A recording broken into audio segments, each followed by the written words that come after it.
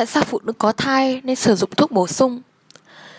Trong khi mang thai, nhu cầu vitamin và khoáng chất của bạn cũng tăng lên. Bạn cần đủ vitamin để đáp ứng nhu cầu của đứa trẻ và nhu cầu của chính bạn. Bạn khó có thể đáp ứng nhu cầu này nếu chỉ dựa vào thực phẩm. Điều này đặc biệt đúng với axit folic và sắt. Trong khi mang thai, bà mẹ cần tiêu thụ đủ dưỡng chất để đáp ứng nhu cầu ngày càng tăng của cơ thể và đứa con trong bụng. Axit folic, axit folic hay còn gọi là folate và loại vitamin B giúp ngăn ngừa khuyết tật liên quan đến bộ não hay cột sống. Những khuyết tật này được gọi chung là khuyết tật ống thần kinh, nature to be defect.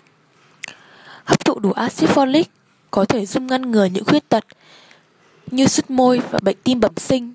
Trẻ thường mắc những khuyết tật này trước khi hầu hết phụ nữ nhận ra rằng mình đang mang thai. Do đó, axit folic rất quan trọng đối với phụ nữ có thể mang thai hay phụ nữ đang mang thai. Phần lớn thuốc bổ sung cho phụ nữ mang thai chứa khoảng 600 mg acid folic một ngày. Đây là lượng acid folic cần thiết cho phụ nữ có thai, bằng tổng lượng acid folic từ thực phẩm và thực phẩm chức năng thông thường cộng lại. Phụ nữ có khả năng mang thai cần 400 mg acid folic từ thuốc bổ sung. Bên cạnh folate tự nhiên, từ chế độ dinh dưỡng lành mạnh, phụ nữ có thai cần bổ sung thêm sắt cho lượng máu tăng thêm trong cơ thể. Sắt giúp cơ thể người mẹ khỏe mạnh và đủ khả năng vận chuyển oxy đến tế bào. Ngoài ra, đứa trẻ cần tích tụ đủ sắt để vượt qua những tháng đầu tiên trong bụng mẹ. Thiếu sắt có thể dẫn đến tình trạng thiếu máu. Nếu bạn bị thiếu máu, cơ thể bạn hoặc phần dưới móng tay trông sẽ rất nhợt nhạt và bạn có thể thấy mệt mỏi. Bác sĩ sẽ kiểm tra tình trạng thiếu máu của bạn bằng cách xét nghiệm máu trong quá trình mang thai. Phần lớn thuốc bổ sung cho phụ nữ mang thai chứa khoảng 27 mg sắt. Đây là lượng sắt cần cho phụ nữ mang thai theo ngày. Hãy sử dụng thuốc bổ sung tổng hợp thay vì thuốc bổ sung vitamin hay khoáng chất đơn lẻ để bạn và trẻ có đủ lượng vitamin và khoáng chất cần thiết.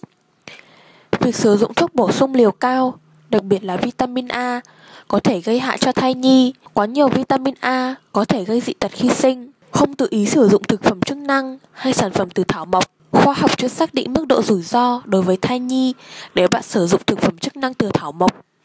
Do đó, tránh sử dụng loại thực phẩm này khi mang thai hay cho con bú.